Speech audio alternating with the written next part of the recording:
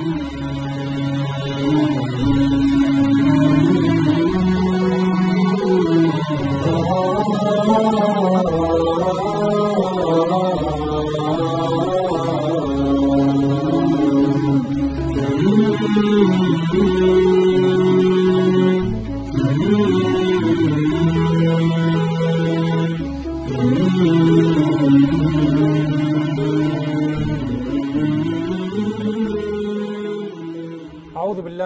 الشيطان الرجيم. بسم الله الرحمن الرحيم. الحمد لله رب العالمين وصلى الله على رسوله محمد وعلى أهل بيته الطيبين الطاهرين. اللهم صل على السلام على الحسين وعلى علي بن الحسين وعلى أولاد الحسين وعلى أصحاب الحسين وعلى أبي الفضل العباس ابن أمير المؤمنين ورحمة الله وبركاته. السلام عليكم أيها المشاهدون الكرام ورحمة الله وبركاته. نرحب بكم مع حلقة جديدة من حلقات أضواء على نهج البلاغة. وكما هو المعتاد نستضيف في آه، برنامجنا هذا ضيف الحلقة وهو سماحة السيد عبد المنعم الحسن. نرحب بك يا سماحة السيد. أهلا ومرحبا بك. أهلا وسهلا بك وبجميع المشاهدين. الله يبارك فيك سيدنا. آه، نهج البلاغة وهو أشهر كتاب عرف عن الشريف الرضي. وكما هو معلوم أن الشريف آه، الرضي ولد عام آه، 359 للهجرة وتوفي سنة 406 للهجرة. وله مؤلفات عديدة منها خصائص الأئمة مجازات الآثار النبوية آه، الرسائل وغيرها وغيرها من المؤلفات التي كتبها أو ألفها دونها الشريف الرضي. ولكن أشهر كتاب أشهر كتاب للش- للشريف الرضي هو آه، كتاب نهج البلاغة. ونهج البلاغة هو كتاب يستطيع الإنسان أن يقول عنه بأنه مصدر للكثير من المعارف سواء كانت من المعارف الإنسانية أو العلمية.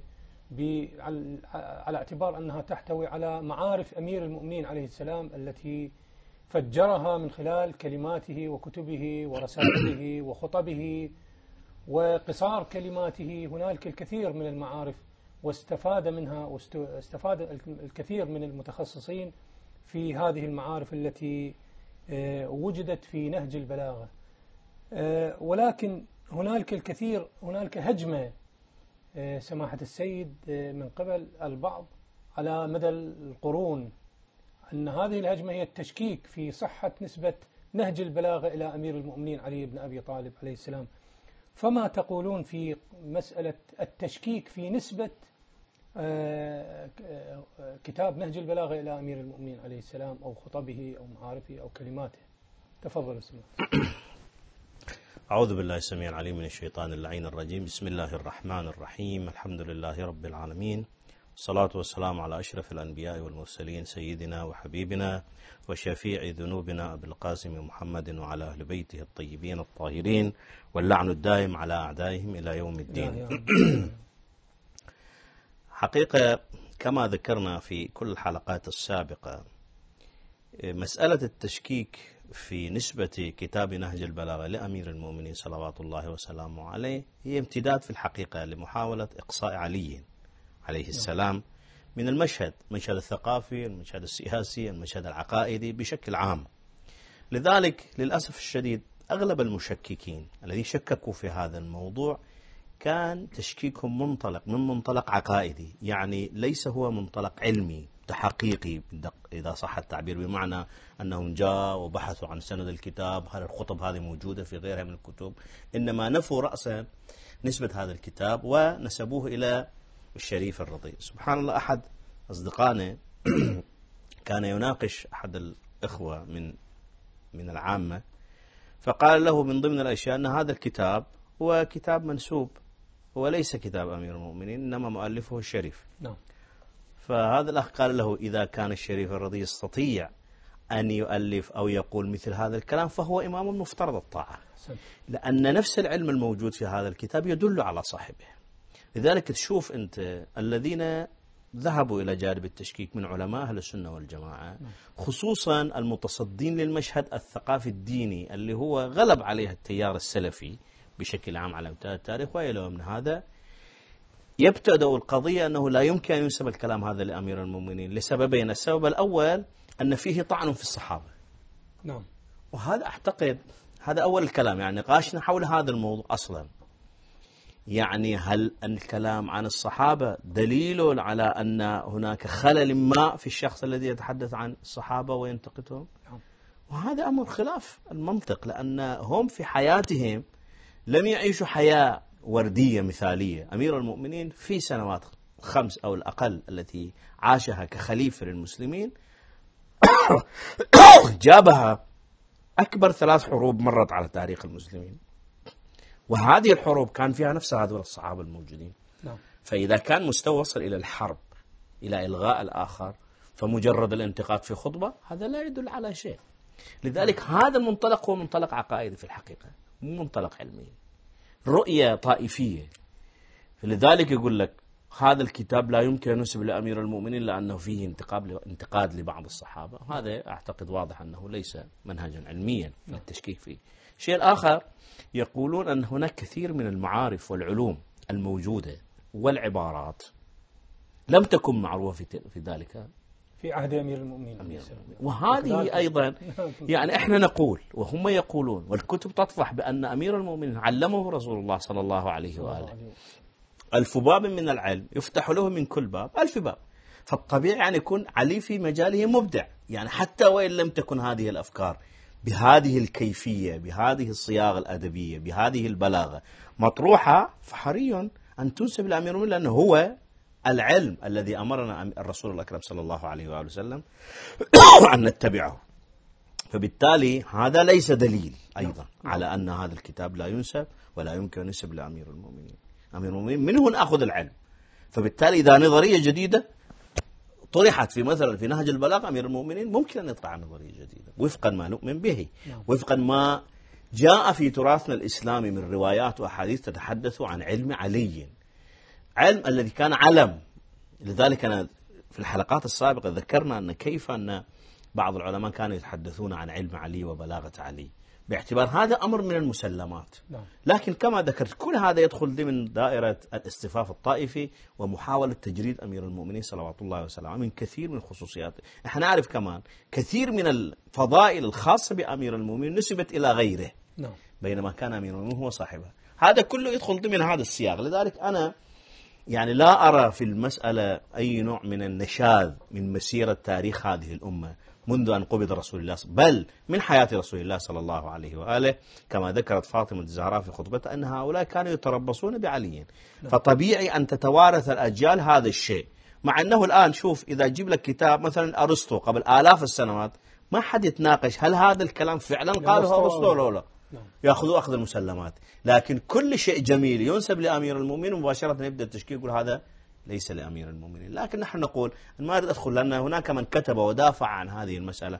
هناك كتب كثيرة كتبت عن سند الخطب والرسائل الموجودة. بل هناك كتب أخذ منها الشريف الرضي. هي قبل وجود الشريف الرضي.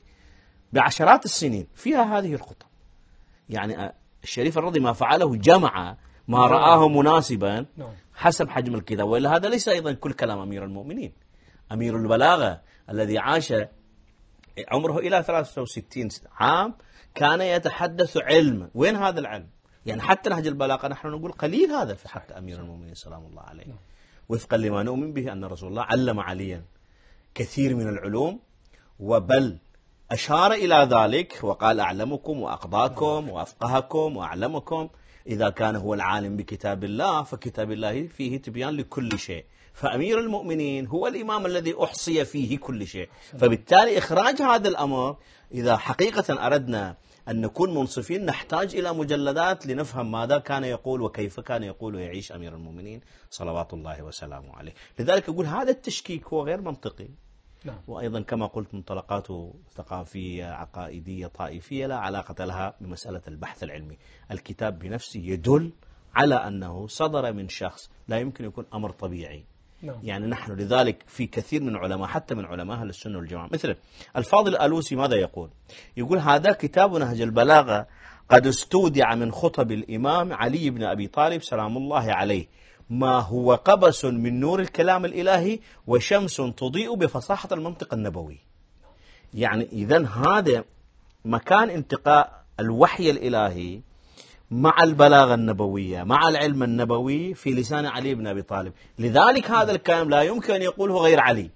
يعني ما في شخص آخر إلى الآن في التاريخ حتى بعد أمير المؤمنين صلوات الله وسلامه عليه نسبت إليه هاي البلاغة والفصاحة كما نسبت إلى أمير المؤمنين في هذه الخطب التي نعتقد أنها جزء.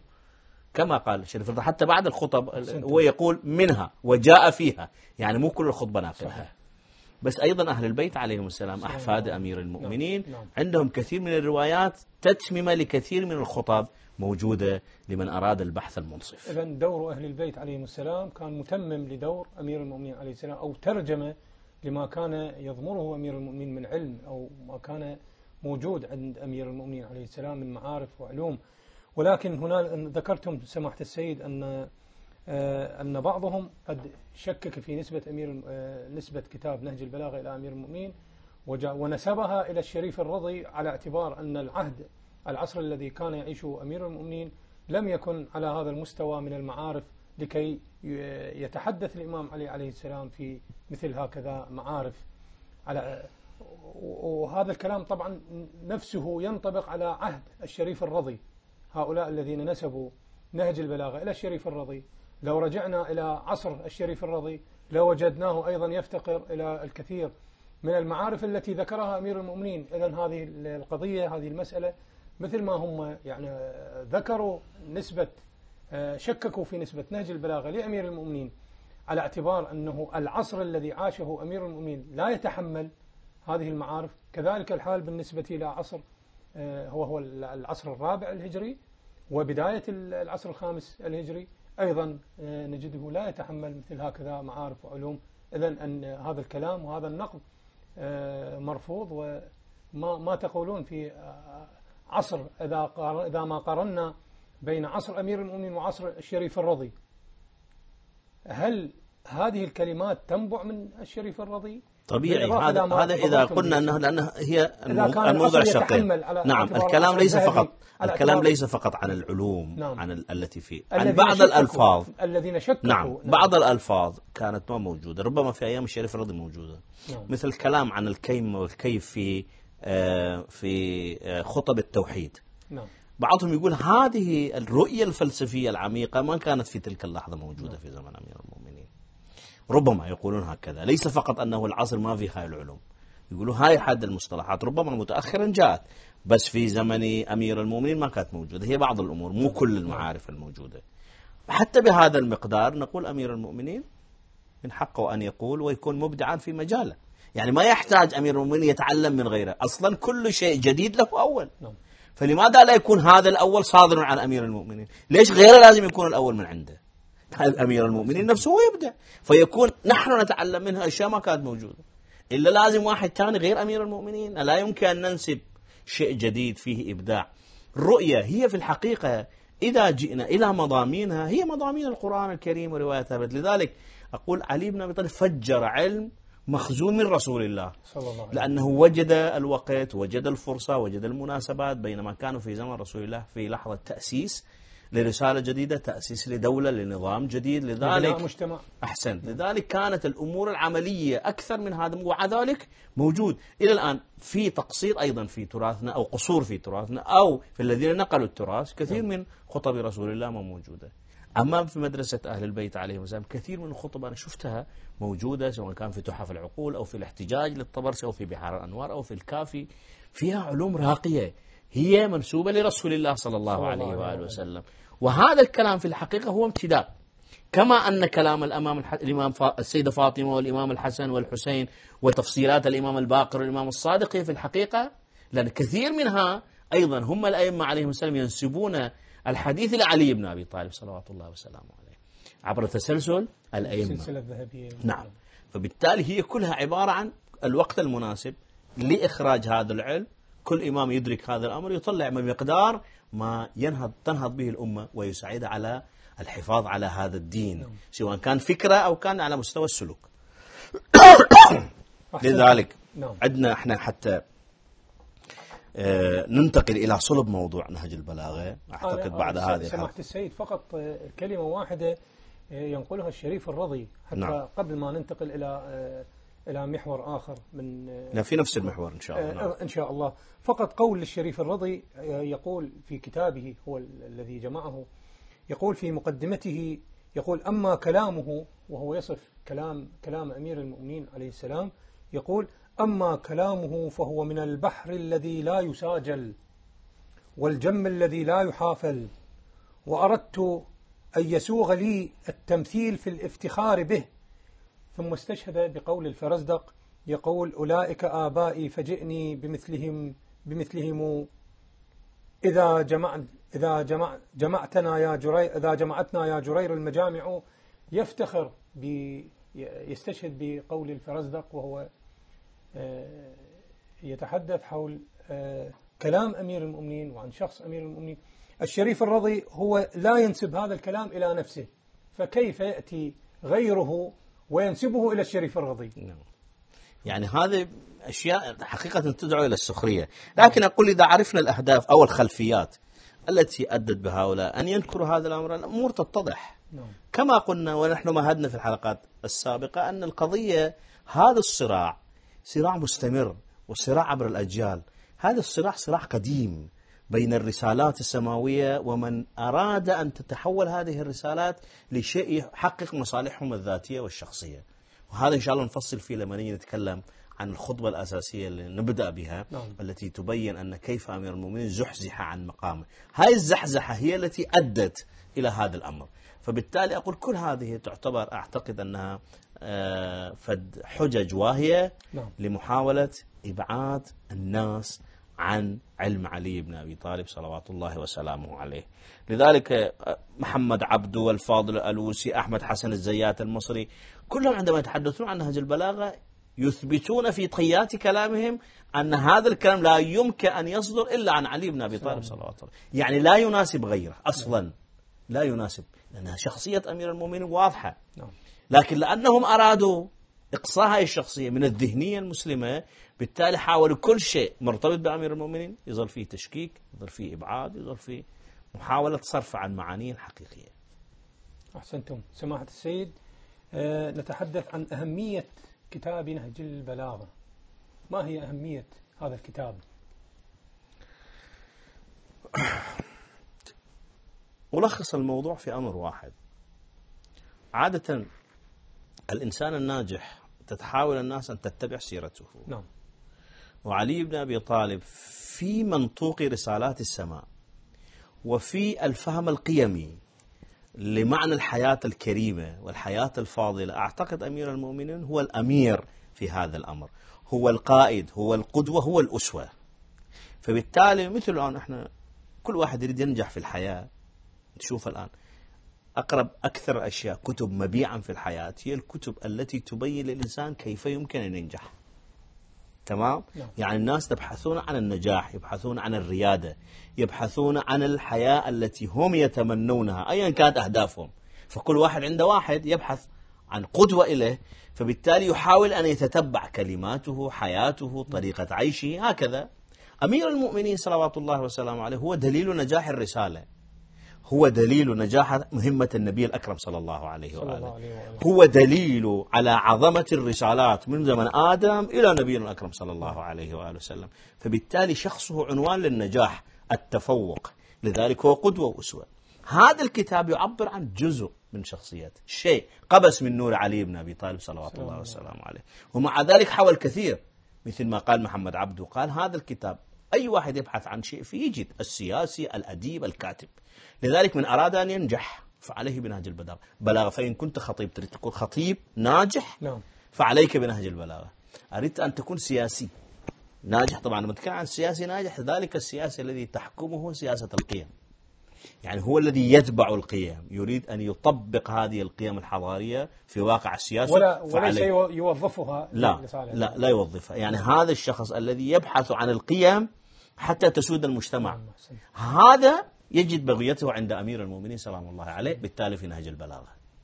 أراد أحدهم أن يعرف في مجال المعارف الإلهية ما وراء الطبيعة عليه بأمير المؤمنين بنهج البلاغة. إن شاء الله نحاول بقدر الإمكان آه، نستعرض بعض الخطب المرتبطة بمسألة ال- الجنة والنار خلق السماوات والأرض خلق آدم. هاي الأمور الغيبية التي تزيد الإنسان معرفة بربه وقربا لله سبحانه وتعالى. نعم. يعني سماحة السيد بالنسبة إلى كتاب نهج البلاغة هو ليس كل آه، لم يجمع كل ما آه، ذكره علي بن أبي طالب عليه السلام أو أمير المؤمنين. نعم. آه، هنالك خطب موجودة في مصادر أخرى لا غير موجودة غير غير موجودة في كتاب نهج البلاغة. إذا هنالك مصادر أخرى غير هذا الكتاب وهو كتاب نهج البلاغة ذكرت مجموعة من الخطب ومن الأقوال ومن الكلمات ال- القصيرة ومن الرسائل ذكروا لأمير ذك- ذكرت لأمير المؤمنين عليه السلام ما ليس موجودا في آه، كتاب نهج البلاغة. فهل هنالك عوائق آه، كان هو الشريف الرضي كان يحاول أن يجمع كل ما آه، يجده من أثر لأمير المؤمنين في ذلك الوقت.